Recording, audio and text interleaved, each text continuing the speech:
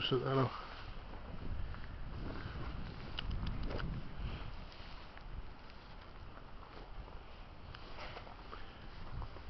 Så ligger tyren derovre. Fede den.